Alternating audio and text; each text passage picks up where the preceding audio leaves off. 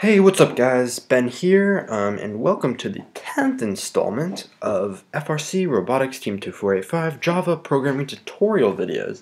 And today we are going to be working on, uh, I'm going to be showing you guys how to um, create a sub, so you made a subsystem last time, um, and today I'm going to be showing you how to uh, initiate or instantiate your subsystem in your robot class. So we have that open. So let's go into there, and we already know that we have rollers. So I'm just going to show you in this video kind of how the existing code works in that way, um, and explain some of those intricacies. It should be a pretty short one. The other one might be a little bit longer, but both of these should be pretty short, honestly. It's not, not too complicated. Okay, so as I said before, um, the extends iterative robot allows you to have these methods.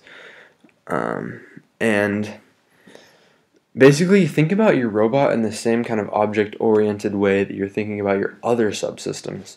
So the robot um, also has uh, uh, also has fields in it, the same way that the um, ratchet and the rollers have fields in them. But the robot kind of has bigger fields. The robot has like a subsystem as a field, so the ratchet field or the um, rollers field.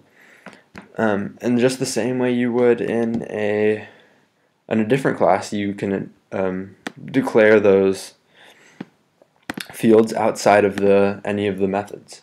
Um, there's no constructor for the robot uh, in this class. You don't really have to worry about doing that, but you do have to initialize the um, you do have to initialize the fields that you declare here inside of the robot init uh, method. So here you can see that well, I kind of have three different fields that I need in order to, um, and I don't know if this is the best design. You might want to have the speed controllers just being um, created inside of your rollers class, but I suppose this works too.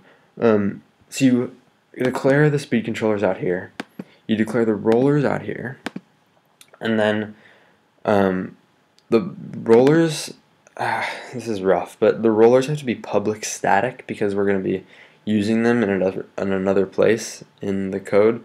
So static means that I mean you're not going to have multiple um, instantiations of the robot, so it's okay that rollers are a static field, even though each robot kind of technically has its own roll rollers, but um, it works. Then you can just call it on the robot. You don't have to instantiate the robot class. So that all works out well, except for the fact that it's public, could be dangerous, but we're the only ones really interacting with our code, so it should be okay. Um, anyway, you get to the robot init method, and here's where you're going to initial or you're going to initialize all of your subsystems. So um, I'm going to start out by just initializing some Victor SP. Victor SP is just a type of speed controller. Um, and every time you construct a speed controller, you got to give it its port. Same with a solenoid. Um, so here I have both speed controllers, the left roller, the left roller, left, that would be like the left, no, that would be the left roller, that would be the right roller, and um, you just have to find the port numbers.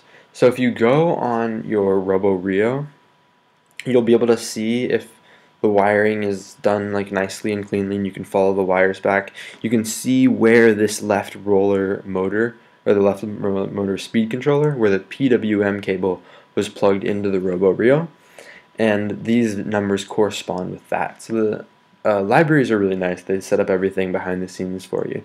So you just have to remember that when you set up the robot, you have to get these port numbers. And that's why I just left this little find port numbers comment here um, because these are just random port numbers. I don't know if they're actually going to be. That'd be.